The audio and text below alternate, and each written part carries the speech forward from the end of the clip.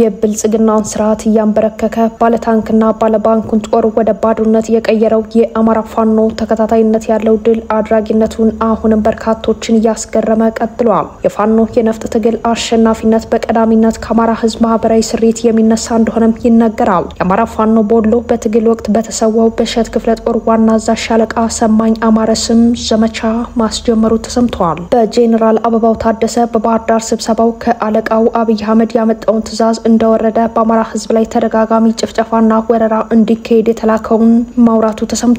በዚህም ከተሰብሳቢ ጄኔራል ተብዬዎች ጥያቄና መልስ አልቀበልም በሚል ትዕዛዙ በአስቸኳይ እንዲፈጸም ተደራቢ አመራሮችን መድቧል።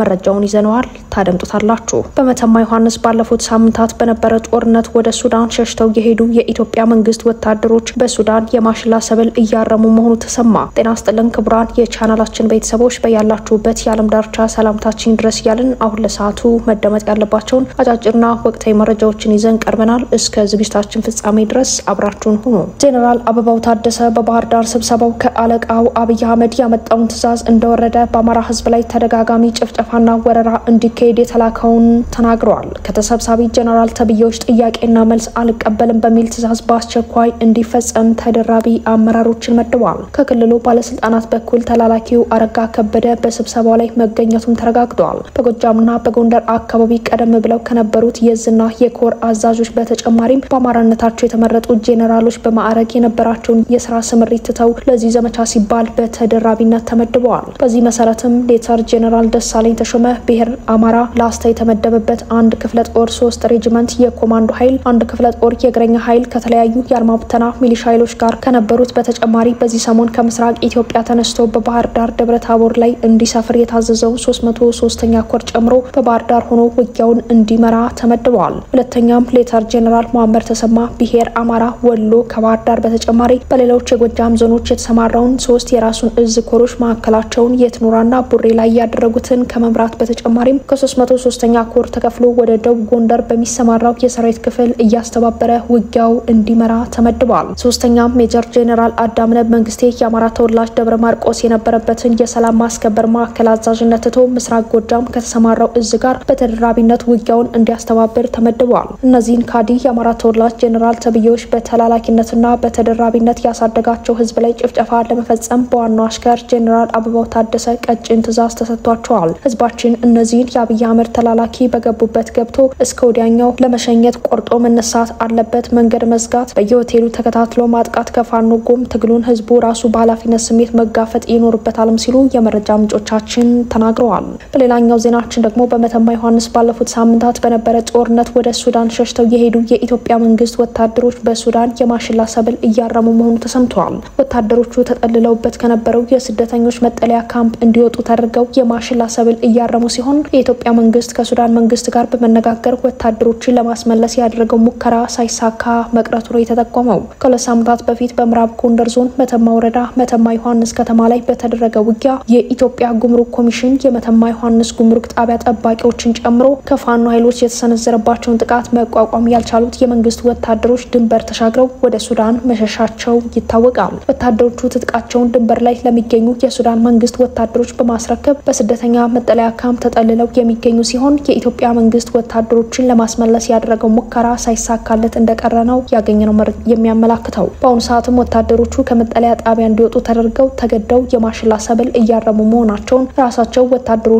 መተማ ለሚገኙ ቤተሰቦቻቸውና ለፋኖ አባላት ስልክ ደውለው መናገራቸውን በአማራ ፋኖ ጎንደር እዝ ከአራማራ ክፍለ ጦር መርጌታ ጸዳሉ ብርጌድ አመራሮች ለሚዲያችን ገልጸዋል። የመተማ ዮሐንስ ከተማ የወንጀል ምርመራ ቡድን ኃላፊ ኢንስፔክተር ሙሉ ሰው፣ የወንጀል መከላከል ኃላፊ ኢንስፔክተር ጌታቸው፣ ኢንስፔክተር ገበያውና ሌሎች የወረዳው እንዲሁም የከተማ አስተዳደሩ ጸጥታ አመራሮችን ጨምሮ 26 የመከላከያ ሰራዊት አባላትና 42 የፌዴራል ፖሊስ አባላት በድምሩ ከ78 በላይ የሚሆኑ የኢትዮጵያ መንግስት ወታደሮች በሱዳን የማሽላ ሰብል አረም እያረሙ እንደሚገኙ ነው የታወቀው። ወደ ሱዳን ሸሽተው ከሄዱት የኢትዮጵያ መንግስት ወታደሮች መካከል የሻለቃ ማዕረግ ያለው የፌዴራል ፖሊስ አዛዥ መተማ ለሚገኙ የፋኖ አመራሮች ስልክ በመደወል ይሄኔ ለእናንተ እጃችን ሰጥተን ቢሆን ይህ ሁሉ ግፍና መከራ አይደርስብንም ነበር። አሁን ላይ ተገደን የመሳሊጥ ንብረት የሆነ የማሽላ ሰብል እያረምን ነው ሲል ቃል በቃል መናገሩን ነው ለማወቅ የተቻለው። ከገንዳዋ ከተማ እስከ መተማ ዮሐንስ፣ ከመንደር ስድስት እስከ ደለለው፣ ከሽመለ ጋራ እስከ ታጉር፣ ከሁርመር እስከ አብራጅራ እንዲሁም ከገንዳዋ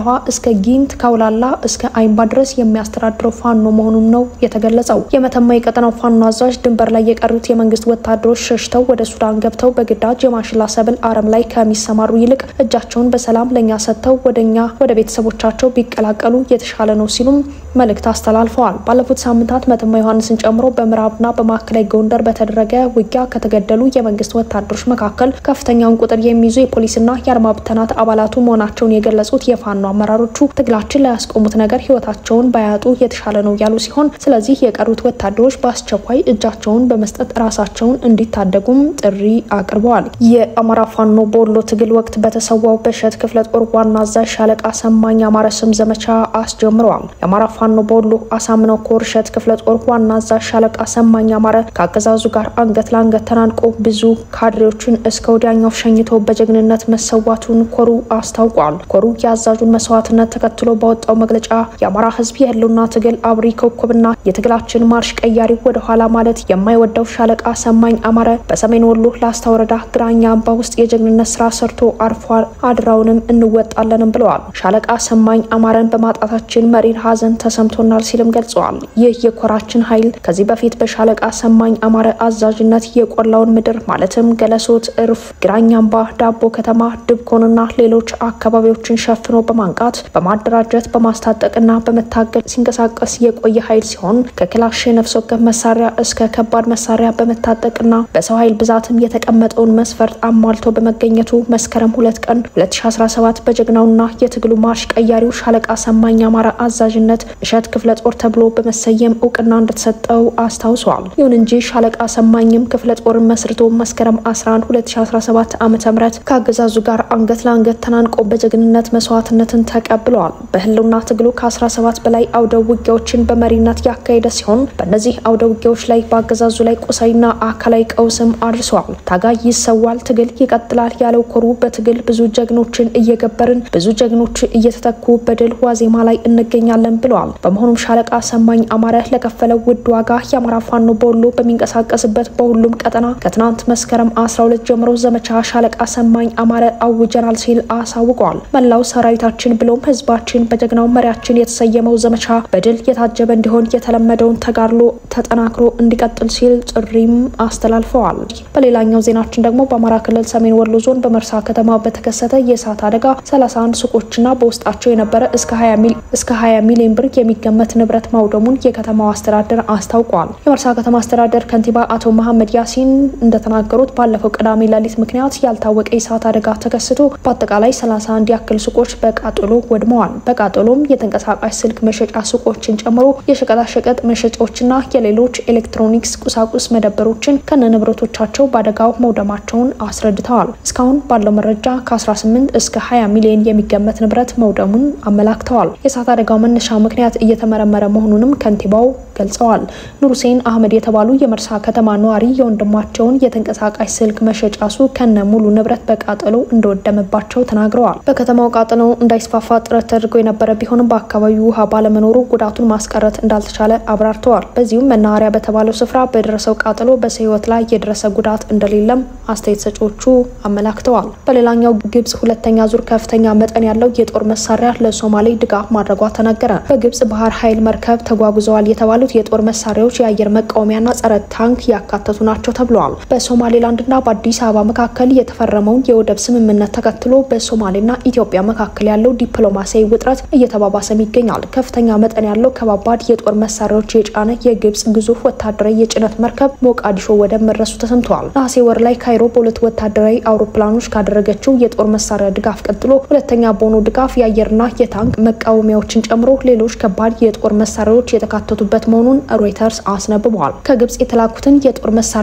ከትናንትናው ዕለት ጀምሮ ከሞቃዲሾ ወደብ የማራገፍ ስራ እየተሰራ እንደሚገኝ ሲነገር ወደ ሀገሪቱ መከላከያ ሚኒስቴር መስሪያ ቤትና በአካባቢው ወደሚገኙ የጦር ካምፖች ጦር መሳሪያዎችን እየተጓጓዙ ነው ተብለዋል። ይህንን ተከትሎ ወደቡና ዋና ዋና መንገዶች ለንግድና ለሲቪሊያን እንቅስቃሴዎች ዝግ መደረጋቸውን ዘገባው ጨምሮ አስነብበዋል። በሶማሌላንድና በኢትዮጵያ መካከል የወደብ የመግባቢያ ስምምነት መፈረሙን ተከትሎ የአዲስ አበባና ሞቃዲሾ ግንኙነት መሻከሩም ይታወሳል። በዚህ የአባይን ውሃን ከመቆጣጠር ጋር በተያያዘ ከኢትዮጵያ ጋር ቆየት ያለ ባላንጣነት ያላት ካይሮ ወደ አፍሪካ ቀንድ እየቀረበች እንደምትገኝ ተንታኞችም ይናገራሉ። በሶማሌ የአፍሪካ ህብረት የሽግግር ተልዕኮ በቀጣይ የሚኖረው አዲስ የሰላም ተልዕኮ አወቃቀር ላይ የኢትዮጵያን ወታደሮች መካተት አልበቃ ያላቸው ሶማሌ ግብጽ በሰላም አስከባሪ ኃይል ውስጥ እንድትሳተፍ ፍላጎቷ መሆኗን ተናግራለች። ከዚህ ጋር በተያያዘ በተለያዩ ዙሮች የሚሰማሩ እስከ አስር ሺህ የሚጠጉ ወታደሮችን በአትሚስ የሰላም አስከባሪ ውስጥ የማሳተፍ ፍላጎት እንዳላት ካይሮ ይፋ አድርጋለች። ኢትዮጵያ ከራስ ገዟ ሶማሌላንድ ጋር የተፈራረመችውን ስምምነት ተከትሎም ከሶማሌ ጋር ወታደራዊ ትብብር የፈጸመችው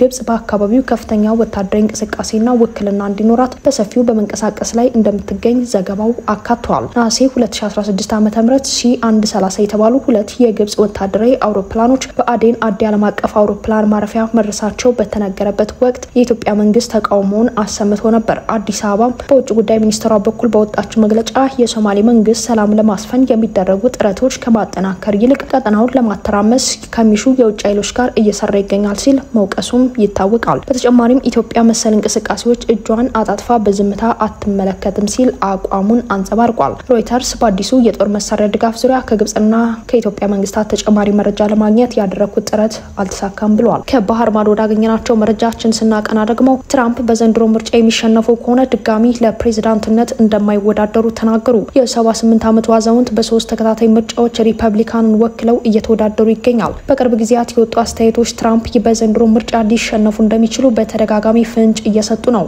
የቀድሞው የአሜሪካ ፕሬዝዳንት ዶናልድ ትራምፕ በዘንድሮ ምርጫ የሚሸነፉ ከሆነም በ2028 ምርጫ ድጋሚ ለፕሬዝዳንትነት እንደማይወዳደሩም ተናግረዋል። ትራምፕ በሳምንቱ መጨረሻ ቀናት ከመገናኛ ብዙሃን ጋር በነበራቸው ቆይታ በዘንድሮ ምርጫ በካማላ ሀሪስ የሚሸነፉ ከሆነ ቀጣይ የፖለቲካው ጉዞ ምን ይመስላል ተብለው ተጠይቀው ነበር። በምላሻቸውም ይህ የመጨረሻ ነው የሚሆነው፣ እንደምናሸንፍ ተስፋ አድርጋለሁ።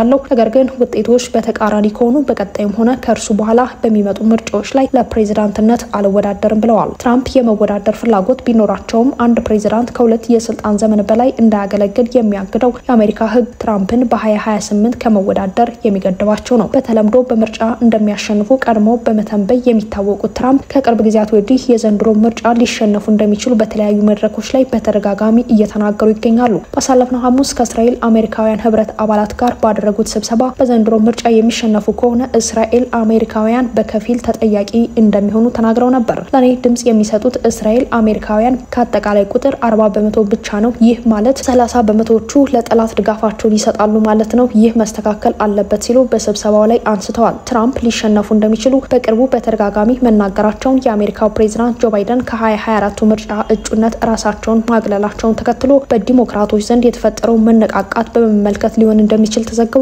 ባይደን ተክተው የዲሞክራቶች እጩ የሆኑት ካማላ ሀሪስ የፓርቲውን የማሸነፍ እድል በብዙ ቁጥሮች እያሳደጉት እንደሚገኙ እየተነገረላቸው ነው። ካማላና ትራምፕ swing states በሚባሉት የምርጫው አሸናፊ በሚወሰኑት ግዛቶች ሳይቀር ያላቸው የአሸናፊነት ግምት እጅጉን የተቀራረበ ነው። የምርጫ ዘመቻ ድጋፍ በማሰባሰብ ደግሞ ዲሞክራቶች አስገራሚ መሻሻሎችን እያሳዩ ነው። ባሳለፍነው ነሐሴ ወር ምክትል ፕሬዚዳንቷ ካማላ 190 ሚሊዮን ዶላር ሲያሰባስቡ ትራምፕ ማግኘት የቻሉት 130 ሚሊዮን ዶላር ነው። በቅርቡ ሁለቱ እጩዎች ያደረጉት የምርጫ ክርክር ደግሞ በርካታ መራጮች ወደ ካማላ ሀሪስ እንዲያዘነብሉ ካደረጉ ዋነኛ ምክንያቶች መካከል ተጠቃሽ ነው። ሆኖም በኢኮኖሚ በኑሮ ውድነትና ስደተኝነትን በመሳሰሉ ጉዳዮች ላይ ትራምፕ አሁንም አብላጫውን ተቀባይነት እንደያዙ ይነገራል። የተወደዳችሁና የተከበራችሁ የቻናላችን ቤተሰቦች ለዛሬ ያዘጋጀንላችሁ ጥንቅሮች እነዚህ ናቸው። ቻናሉን subscribe፣ ቪዲዮቻችን like፣ share በማድረግ ቤተሰብ እንድትሆኑ በአክብሮት እንጠይቃለን። ጤና ይስጥልን።